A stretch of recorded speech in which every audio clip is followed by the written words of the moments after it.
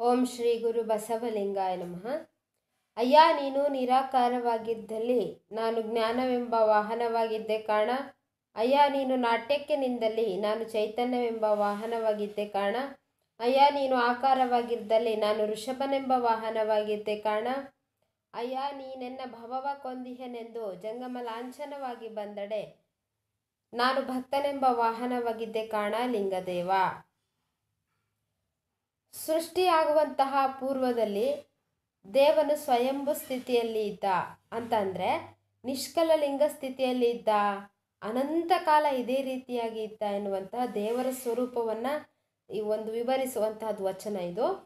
ಇಲ್ಲಿ ಕಾಲದ ಲೆಕ್ಕಾಚಾರವಿಲ್ಲ. ಇದು ಒಂದು ದಿನ ದೇವನಲ್ಲಿ ಒಂದು ಸ್ಫುರಣ ಆಗ್ತಾ ಇದೆ.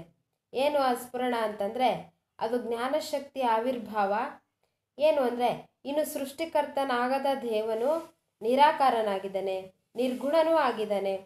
ಹಾಗಾದರೆ ಆಗಿದ್ದಂತಹ ಸಂದರ್ಭದಲ್ಲಿ ಉದಯಿಸಿದಂತಹದ್ದು ಒಂದು ಅಭಿವ್ಯಕ್ತಗೊಂಡಂತಹ ಒಂದು ಚಿಶಕ್ತಿಯ ಉದಯ, ಆ ಮೊದಲನೆಯ ಹಂತವನ್ನು ನಾವು ನೋಡ್ತಾ ಇದ್ದೀವಿ. ನಂತರ ದೇವನು ನಾಟ್ಯಕ್ಕೆ ನಿಲ್ತಾ ಇದ್ದಾನೆ. ಅಂದರೆ ಸೃಷ್ಟಿ ರೂಪುಗೊಳ್ಳುವಂತಹ ಕ್ರಿಯೆ ನಡೀತಾ ಇದೆ ಅಂತ ಅರ್ಥ. ಆಗ ದೇವನಲ್ಲಿ ಉದಯಿಸ್ತದೆ ಒಂದು ಚೈತನ್ಯಾತ್ಮಕವಾದಂತಹ ಶಕ್ತಿ ಅದು ನಂತರದಲ್ಲಿ ಸೃಷ್ಟಿ ಆಕಾರವನ್ನು ತಳೀತಾ ಇದೆ. ಸೃಷ್ಟಿಯಲ್ಲಿ ಜಡವಾದಂತಹ ಪಂಚಭೂತಗಳಿಂದ ಆಗಿರುವಂತಹ ಅಚರ ವಿಭಾಗ, ಜೀವಾತ್ಮರುಗಳು ಸೃಷ್ಟಿಯಾದಾಗ ಅವುಗಳ ಅವುಗಳ ಉದ್ಧಾರಕ್ಕಾಗಿಯೇ ಧರ್ಮ ಋಷಭನ ಅಗತ್ಯವನ್ನು ಬೀಳ್ತಾ ಇದೆ.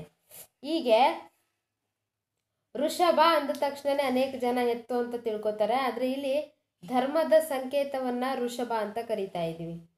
ಶಿವನನ್ನ ದೇವರ ಸಂಕೇತ ಸಿಂಬಲ್ ಗೊತ್ತಾಯ್ತಾ? ದೇವರ, ಒಂದು ಶಿವನನ್ನ ದೇವರ ಸಂಕೇತ ಅಂತ ಹೆಂಗೆ ನಾವು ಭಾವಿಸ್ತೀವಿ? ಹಾಗೆ ದೇವರಿಗೂ ಸಹ ಒಂದು ವಾಹನವಾಗಿರುವುದು ಯಾವುದಪ್ಪ ಅಂದರೆ ಅದುವೇ ಧರ್ಮ.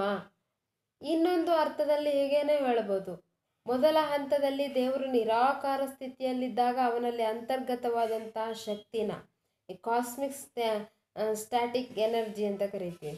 ಈ ಜ್ಞಾನ ಶಕ್ತಿಯಾಗಿ ಸ್ಫುರಣಗೊಂಡಿತು. ನಂತರ ಸೃಷ್ಟಿ ಮಾಡಲು ತೊಡಗಿದಾಗ ಅದು ಶಕ್ತಿಯ ಚೈತನ್ಯ ಡೈನಾಮಿಸ್ಟಿಕ್ ಶಕ್ತಿಯಾಗಿ ವಿಕಸನಗೊಳ್ಳುತ್ತಾ ಇದೆ.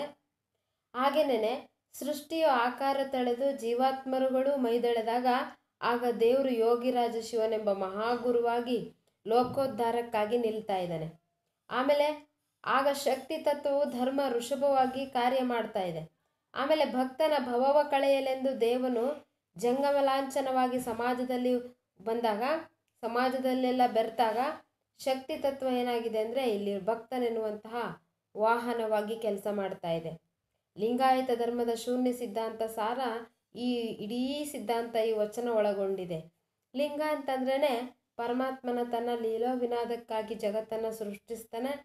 ಅಲ್ಲಿರುವಂತಹ ಅವನಲ್ಲಿರುವಂತಹ ಶಕ್ತಿಯು ಅಂಗ ಅರ್ಥಾತ್ ಜೀವಾತ್ಮವಾಗಿ ಅವತರಣವಾಗ್ತಾ ಇದೆ. ಮೂಲ ಚೈತನ್ಯದಿಂದ ಮೂವತ್ತಾರು ಹಂತಗಳಲ್ಲಿ ಅವತರಣವಾಗುವ ಈ ಜೀವಾತ್ಮ ತನ್ನ ಮೂಲ ನೆಲೆಯನ್ನು ಸೇರಲು ಹಂಬಲಿಸ್ತಾ ಇದೆ. ಈ ಸಾಗುವಂತಹ ಈ ಹಂಬಲದ ದಾರಿಯಲ್ಲಿ ಜಂಗಮನು ದೇವನ ಪ್ರತಿನಿಧಿಯಾಗಿ ಬಂದು ಭಕ್ತನನ್ನು ಶುದ್ಧೀಕರಿಸಿ, ದೈವೀಕರಿಸಿ ಲಿಂಗ ದೇವನೊಡನೆ ಬೆರೆಯಲು ಸಹಕರಿಸ್ತಾ ಇದೆ, ಸಹಕರಿಸುವನು. ಇಲ್ಲಿ ದಾರ್ಶನಿಕ ಚೇತನರಾದ ಬಸವಣ್ಣನವರು, ನಾನು ಎಂದು ಹೇಳುವಲ್ಲಿ ವ್ಯಕ್ತಿ ಬಸವಣ್ಣನವರನ್ನು ಉದ್ದೇಶಿಸಿ ಹೇಳಿಲ್ಲ. ಶಕ್ತಿ ತತ್ವ ವಿಕಸನವನ್ನು ಕುರಿತು ಹೇಳುವುದೆಂಬುದನ್ನು ನಾವು ಗಮನದಲ್ಲಿ ಇಟ್ಕೋಬೇಕು. ಈ ರೀತಿಯಾಗಿ ಸ್ವಯಂಭುವಾದಂತಹ ಪರಮಾತ್ಮ ಸೃಷ್ಟಿಯ ನಿರ್ಮಾಣದಲ್ಲಿ ಹಂತ ಹಂತವಾಗಿ ಮಾಡಿದಂಥದ್ದನ್ನು ಒಂದು ಬಸವಣ್ಣನವರು ಬಹಳ ಮನೋಜ್ಞವಾಗಿ ವಿವರಿಸಿದರೆ ನೀವೆಲ್ಲರಿಗೂ ಶರಣು ಶರಣಾರ್ಥಿ.